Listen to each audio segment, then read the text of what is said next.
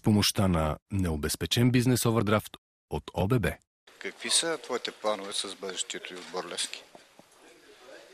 Надявам се да, да се представям по-добре, отколкото се представих миналата година.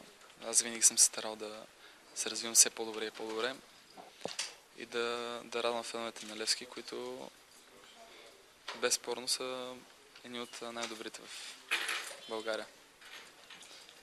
Значи Левски се слави с много такава взискателна публика. На времето, преди доста години, така Георги Иванов имаше сериозни проблеми, но все пак направи нещо голямо. Ти били способен на такова нещо?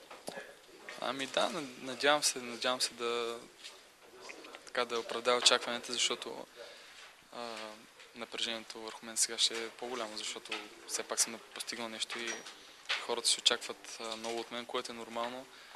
А, относно публиката на Лески, аз знам, че е взискателна, но преди една година, когато започнах с Боран Ботев, там публиката е също доста взискателна и мисля, че се справих. Надявам се, че и сега ще е така. С помощта на необезпечен бизнес овердрафт от ОББ.